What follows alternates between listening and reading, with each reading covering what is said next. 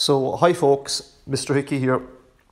Uh, just want to finish off what we were what we were doing in our last class, which was looking at the treaty, and I suppose um, what I would look at today now are the main clauses of the Anglo-Irish Treaty.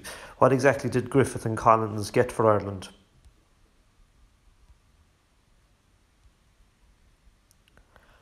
Well, from this point on, the new Irish state would be called the Irish Free State.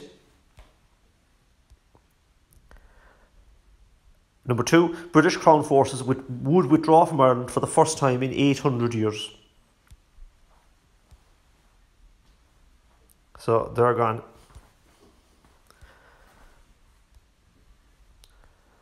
Ireland would become a co equal dominion of the British Empire. In other words, we would have the same status as Canada, Australia, and there's ourselves. We are now a dominion of the British Empire. Uh, much to the disappointment of die-hard Republicans back home. Number four, we would get our own currency, the pound or Irish punt, because we would have full economic freedom, unlike the other dominions.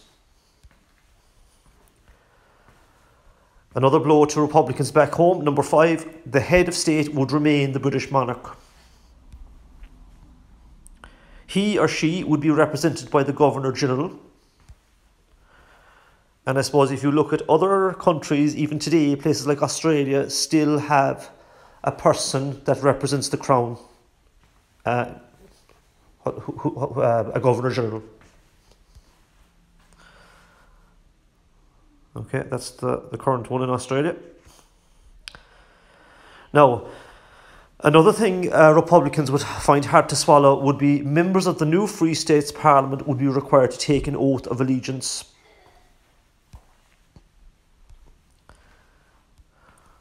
First to the Constitution, and secondly to King George V, his heirs and successors. Now, as I said here, I suppose the British did give some allowance here in that they permitted that the oath in question would be taken to the Free State Constitution first and then the King. But of course, that's not going to be good enough for, for uh, Republicans uh, at home. And I suppose it will be one of the main causes of the Civil War, which you'll be looking at uh, later this week.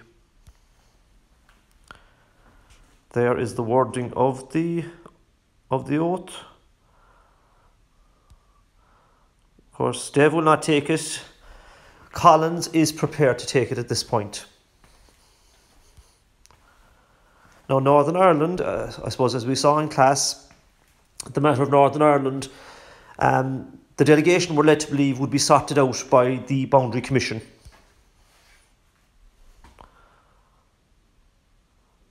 However, if for any reason that does not work out, um, it will copper fasten or strengthen partition between the two states.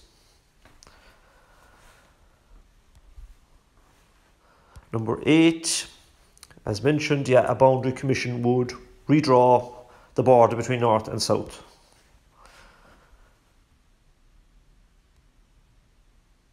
And I suppose in a in a way this was controversially accepting partition. And again, I, I stress the word controversy and controversial throughout these lessons because it's often a question they ask at higher level. Why was the Anglo Irish Treaty controversial? Number nine.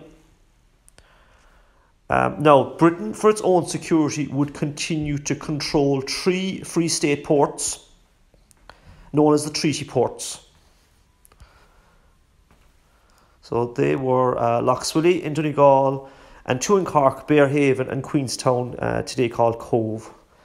And they would remain under British control until 1938. And of course, uh, that is a significant date, and we'll deal with that at a, at a later stage when those ports are returned.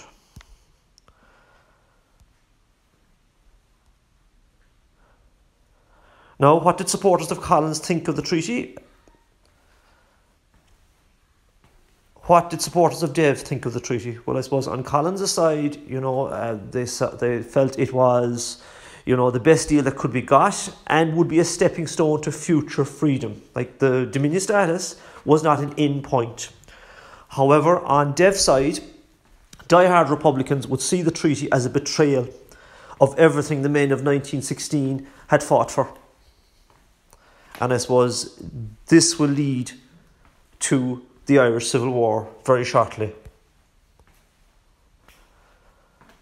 And I suppose if we were in class now, I'd be asking your opinions. What sides would he would he fall on?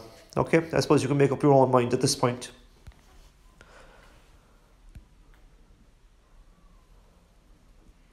Okay. All right, lads. So um, again, uh, let's see if this works. I'm going to post this on YouTube, and hopefully, um, we can work away through through these through these strange uh, times, you know, and uh, you know that um, we, we will keep you on track for your leaving cert exam. So all the best, and we'll uh, we'll talk soon. Stay safe, stay healthy. Okay, bye bye.